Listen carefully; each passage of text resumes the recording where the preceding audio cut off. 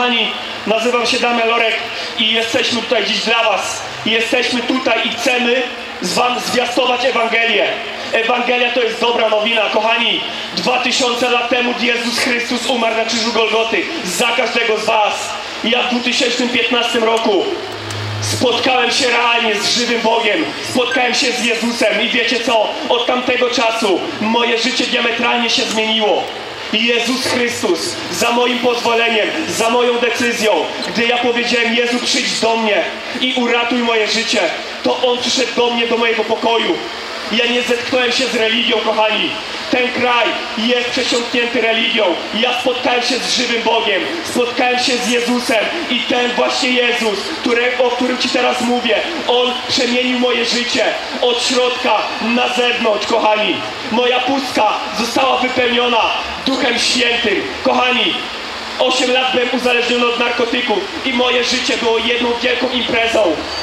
Lubiałem ćpać, imprezować, być dealerem narkotyków. Takie życie prowadziłem, ale w momencie, kiedy spotkałem się z żywym Bogiem, spotkałem się z Jezusem, to też życie moje zostało przybite do krzyża.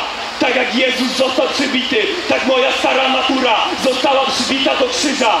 I powstałem z martwych, zostałem ożywiony, zostałem wypełniony Duchem Świętym i nie żyję już ja, lecz żyje we mnie Chrystus. Od tamtego czasu zostałem ożywiony i wiecie co? W grzechu, w jakim żyłem, i już nie żyję, bo grzech nade mną nie panuje.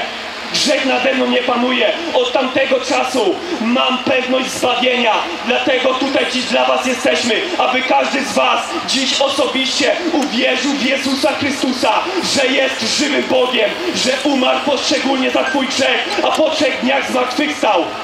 Jezus Chrystus stał w ciele, został wzbudzony i On żyje. Kochani, i ta Ewangelia jest dla Was. Każdy z Was ma możliwość dziś słyszeć prawdziwą Ewangelię, że Jezus Chrystus umarł za Ciebie. On przelał swoją świętą krew za Ciebie. Wystarczy, że Ty dziś w to uwierzysz, tak jak ja uwierzyłem w to. Tak jak ja w to uwierzyłem i doświadczysz Boga, doświadczysz Ducha Świętego. Halleluja! Zapraszam Was, jeżeli chcecie, abyśmy się o Was pomodlili. To jest dla Was. To jest łaska. To jest łaska. Kochani, możesz dziś z tego skorzystać. Możesz dziś z tego korzy- skorzystać, bo jutra może nie być. Dziś jest dziś. Dziś jest dzień zbawienia. Jeżeli Cię to porusza, to pragniesz Boga.